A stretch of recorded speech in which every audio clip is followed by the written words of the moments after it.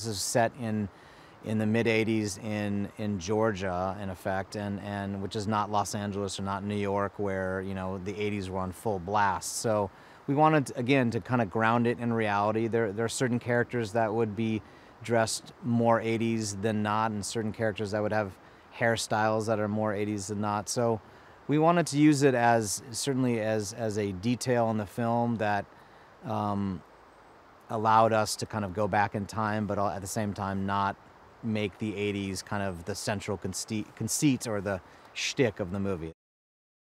Margo uh, Martindale, uh, Jesse Tyler Ferguson, Elizabeth Banks, uh, they're all people who've worked together before. Um, Jesse is, is one of uh, our oldest friends. And, you know, they're, they're both fantastic dramatic actors who haven't traditionally done action sequences and probably haven't done horror movies. Um, and uh, so it was an opportunity to put these fa- fantastic actors together um, who all have kind of a, a, vibe and connection with each other. And, and uh, so, you know, we're playing off of the comedy on one level of, of Ranger Liz being smitten with, with um, Peter, and but at the same time they're confronted by this bear, and you know it's it's your classic characters who are completely in over their head. They have no idea what they're supposed to be doing and they're immediately terrified at making a series of bad decisions